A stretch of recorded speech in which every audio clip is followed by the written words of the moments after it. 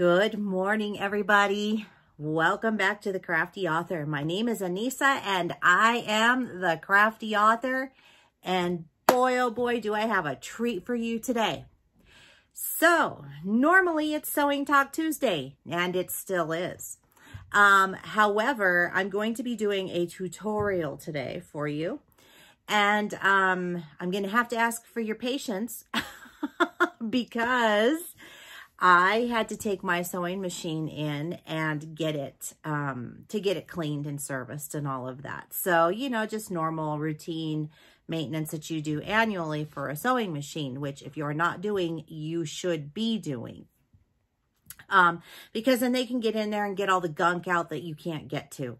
And um, if your machine needs oiling or whatnot, they they need to take care of that. And you should do this for every kind of sewing machine. It's not just the big expensive ones. Um, if you have like a one that you've purchased from a Walmart or whatever, you should also get those serviced as well. Okay, so domestic sewing machines, they need to be serviced and cleaned.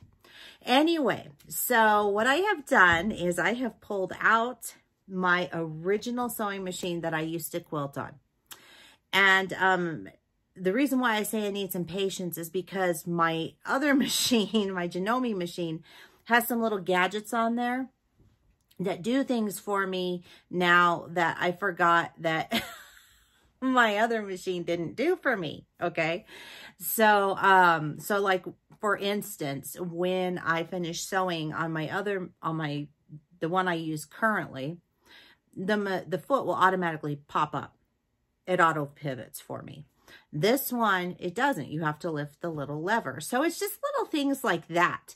Um, but this machine sews so beautifully. I just hooked it up and I wanted to stitch it just to see how it would stitch out. And you know what? It stitches out amazing. I can't, I just, I can't believe how beautiful the stitches are on this machine. So I am going to quilt, I'm going to straight line quilt the wall hanging um, that I'm going to be hanging back here. Um, I was going to do the baby quilt, but I have some black thread, some black bobbin thread that I really, really need to use up in this machine. So I'm going to put a black backing on the wall hanging here, and that's what we're going to use. But I want to show you really quick the stitches. Oh my Lord. Look at this.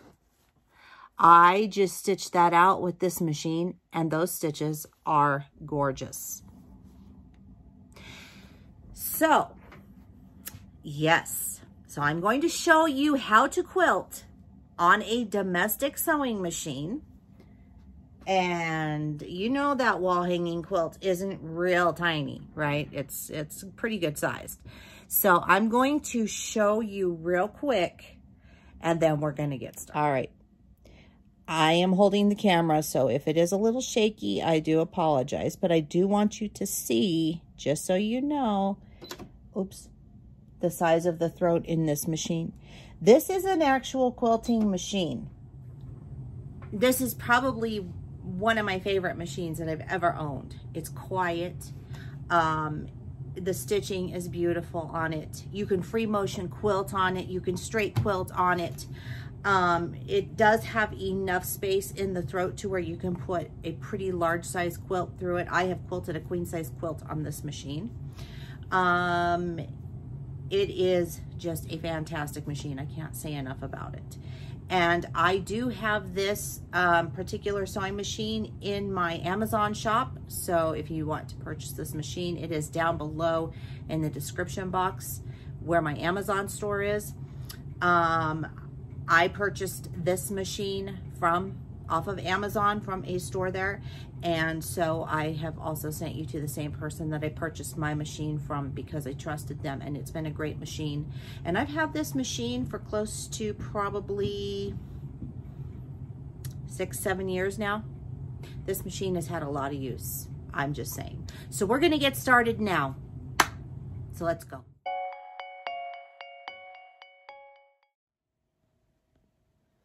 Okay, I have the quilt prepared. That's the back. Here's the front. And we are just going to begin straight line quilting. This is on a domestic sewing machine. It's going to be very, very fun and very easy. I'm going to start right here. And I am going to, I like to needle down and then needle up because I want to pull up the bobbin thread. It's just my personal preference to do this. Come on. And I'm clearly not pulling up the right thing. Okay, like I said, you're going to have to bear with me for just a second, okay? I'm still trying to get the hang of this because it's been a while. And um, also, I wanted to let you know that I am using a walking foot. So whenever I straight line quilt, I always want to use a walking foot, okay? So I'm just going to push those strings to the back. And I am going to put my presser foot down. That's the other thing that I keep forgetting to do is push my presser foot. And I'm just to needle down. I'm to find my foot paddle because it's a little, I'm not in my same sewing spot, so everything's a little bit kind of mixed up. I'm to use this line to go all the way down. I'm to use this seam line right here. And we're to just start sewing.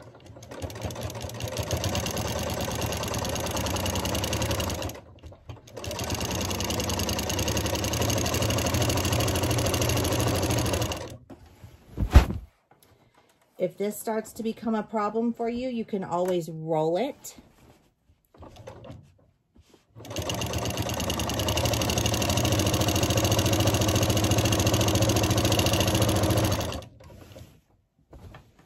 You can also wear quilting gloves. I'm not wearing quilting gloves for this.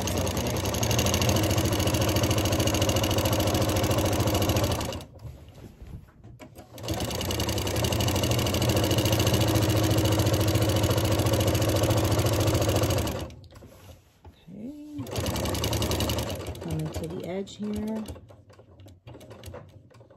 Okay. Now, now that I'm here, I could either just sew over a little bit and go down that line, or I could tie it off here and do whatever.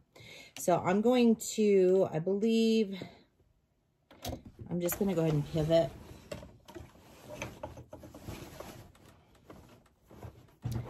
And I'm just going to sew Take a couple stitches here in my ditch. I'm going to lift this back up. And I'm going to pull the quilt through. And I'm not quite on that line, so I need to take a couple more stitches. So I'm just going to push my quilt through, okay?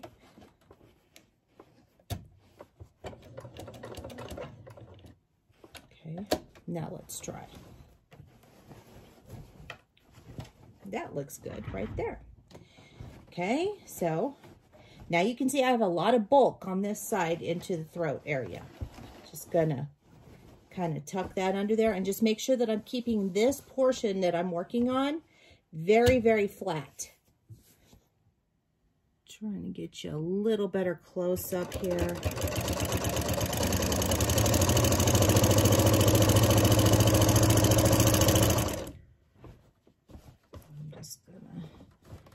Readjust to make sure everything is flat. continue sewing. Readjust. And for this, I use um, 505 spray. So in case you're wondering why I don't have this pinned to death like I normally do, it's because of that. I just thought for something smaller like this, it would make it much easier.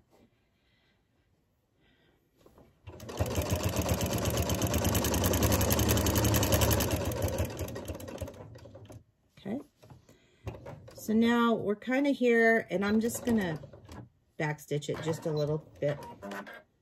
And I'm going to cut the threads. Okay. So we're done with that section.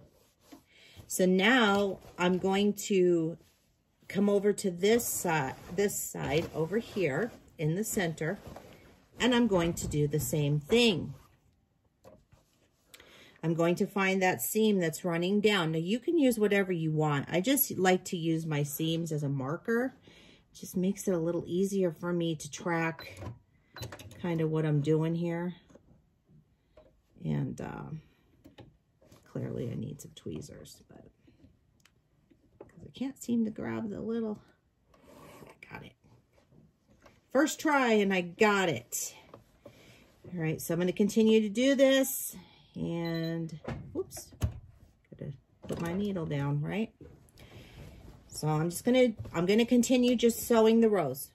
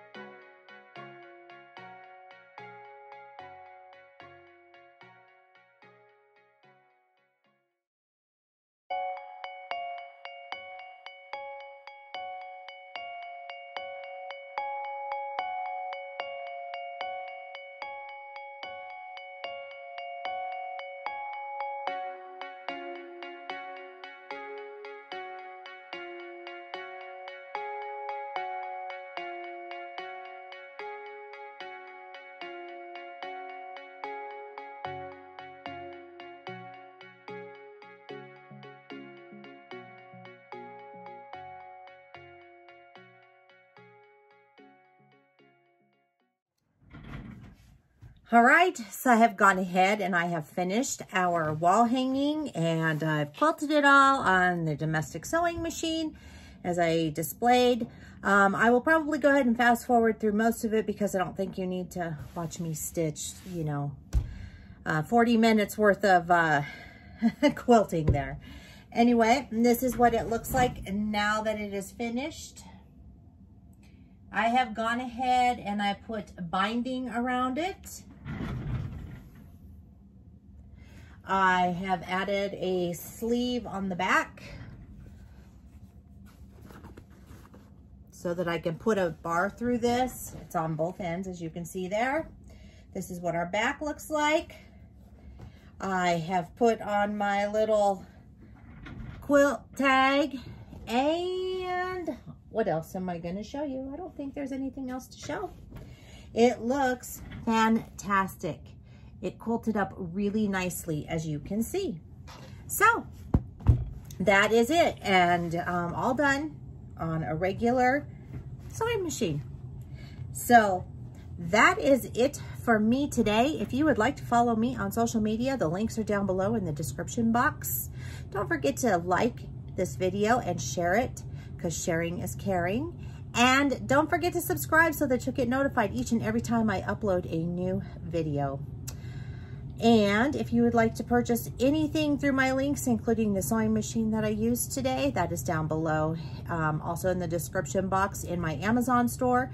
Please note that anything that you purchase through my links, I do make a small commission as I am an affiliate and everything that you do does help to help this channel grow, help me buy equipment for it and whatnot. So I want to thank you all for joining me today.